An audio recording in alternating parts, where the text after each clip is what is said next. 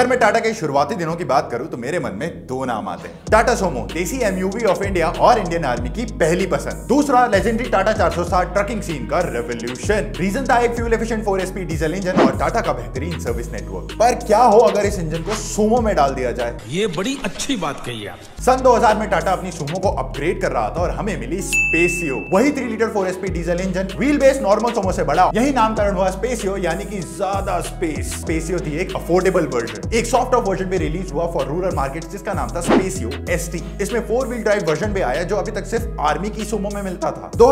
में आई spatio gold plus वही four SP engine but turbo charge फिर 2008 में आई टाटा सोमो ग्रांडे और 2011 आते आते स्पेसियो को कर दिया अलविदा और 2019 में बी सिक्स नॉम की वजह से सोमो का नाम ही मार्केट से चला गया क्या टाटा को सोमो वापस लानी चाहिए वो भी डिफेंडर की स्टाइलिंग के साथ कॉमेंट्स में बताएं और ऐसे और ऑटोमोटिव कॉन्टेंट के लिए सब्सक्राइब टू गो मैकेनिक